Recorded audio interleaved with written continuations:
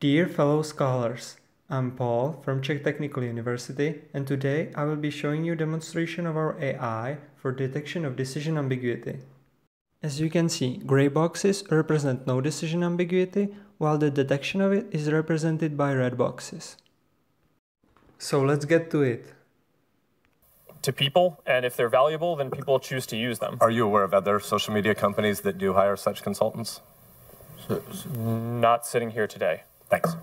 Senator Markey. Quality Mars that doesn't use water.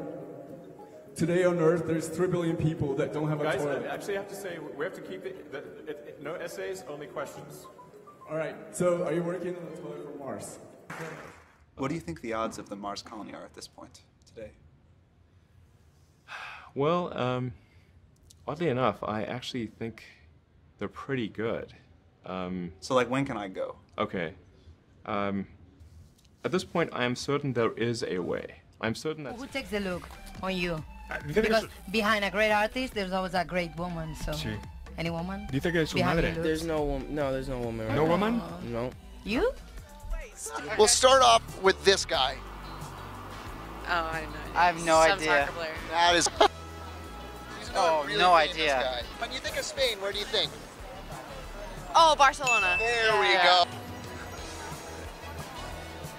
I have absolutely not a clue. He looks like a hockey player. He's not. Looks like Beckham.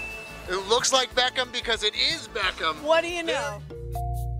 To find out more about how the algorithm works, Demis took me to meet two of its creators, Vlad and Koray.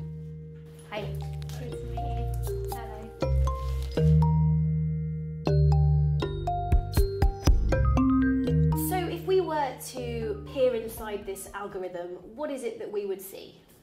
Right, so um, the core part of the system is a big neural network, which essentially. that I work hard.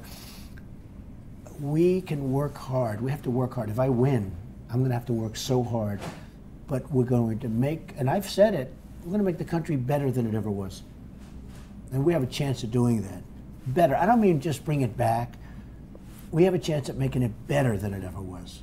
There's such incredible potential, such incredible people. And you mark my words, we'll be doing this. I'd like you to describe a place you would like to visit. Remember, you have one minute to prepare, so I'll tell you when the minute is up. Okay.